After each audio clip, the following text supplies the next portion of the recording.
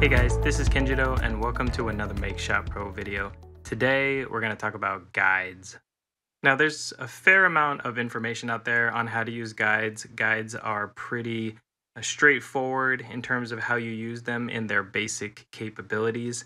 Uh, to be completely honest, uh, majority of this video is really going to be just about um, a shameless plug for a set of scripts that I've written to make using guides easier and to provide some extended capability. And these scripts will be available for folks who become patrons on my Patreon page. All of the things that they do can be done manually. It's just probably less accurate and a lot harder to do. But becoming a patron means you get access to all existing scripts, these scripts, and any scripts I create in the future. So let's get into it. So to demonstrate the basic capabilities of guides, I have just a basic image that's empty and uh, going into the view menu, uh, everything's turned off. So rulers, grid, guides, and um, snapping, all of that stuff is off. So to do just the basic level of working with guides, first thing is to turn on the rulers, and then you can see that what looks like a ruler appears on the vertical and horizontal axes. Then what we can do is say guides, and what this do is this at least enables the visibility of it. So even if you have guides or you've drawn guides, if that's not checked, then you won't see them. So now in this context, although I consider this fairly counterintuitive, if you want to create a guide that runs up and down, you actually grab from the horizontal axis and drag it into view. And you can see it's this light blue bar and you can always grab it again you know, after it's in position to move it where you want it to be. And you can have as many of these as you like and you can position them where you want them to be. In the same way, if I want horizontal guides, then I have to grab from the top and then drag down. And that's the basic operation of guides. They're really meant to help with composition. If you do decide to want to use them for like clicking positions and maybe setting nodes and vector objects, you can turn on snap and then in that case when you try to do a draw you can click and it's going to automatically hit those points where those guides are. So it can help you with drawing in that kind of way. Now the interesting thing is that if you want to remove a guide you just drag it all the way to zero. And but if you have several guides that can be kind of painful but you can always go to the grid guide snap properties and then in guides, you can just say delete all guides, and then all of them will go away. Now, from what I've seen, Corel provides at least two scripts for guides. Um, there's the golden ratio and the rule of thirds. And these essentially, when you run them, are going to draw guides according to those specific set of rules. Um, one thing that is interesting though, if you do rule of thirds and then decide you want to do golden ratio, running these scripts doesn't remove the existing guides. So you'll always have to clear them yourself if you want to do a new set or make up your own. So with that said, I'd like to just go over some of the scripts that I've created for guides, and that way you'll understand how they work. And if it seems like something that you feel like would be beneficial for yourself, um, you could become a patron and get access to those scripts.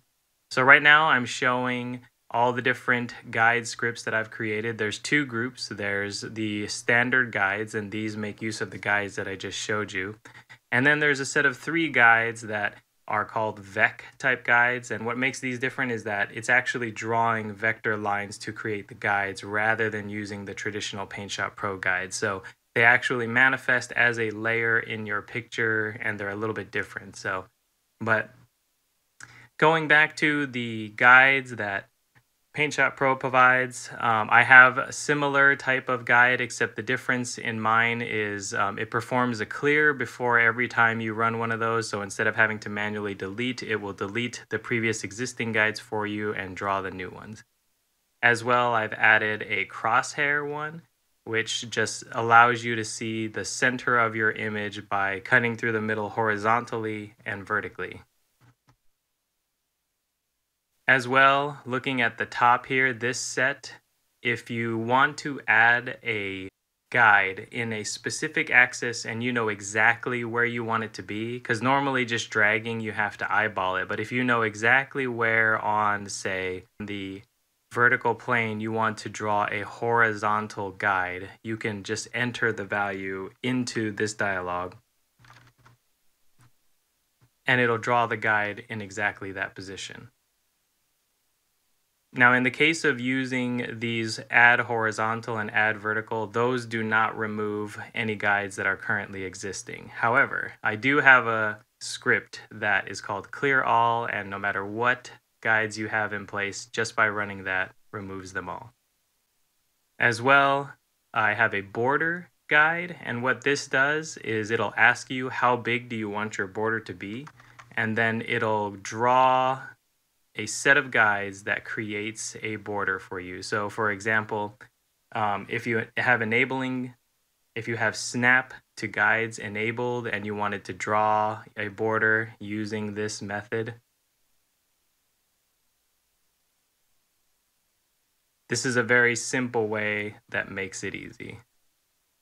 And you'll see that this actually can be beneficial if you're trying to do something like a reverse contour to cut out a box in an image. But essentially, that's what this guide provides is a manually setting evenly distributed border based on the number you enter.